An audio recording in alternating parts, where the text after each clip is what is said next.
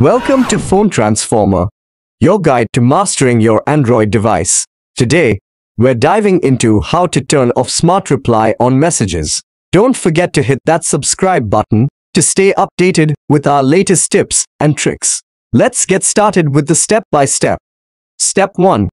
First, take your Android device in hand and launch the Messages application. Step 2. Next, click on your profile icon located at the top right corner of the screen. Step 3. After that, tap on the Messages settings option. Step 4. Now, scroll down until you find the Suggestions option and click on it. Step 5. Here, you will see the option to enable Smart Reply. Step 6. Finally, tap on the toggle to turn off the Smart Reply option. And there you have it. You've successfully turned off Smart Reply on messages. Thanks for watching.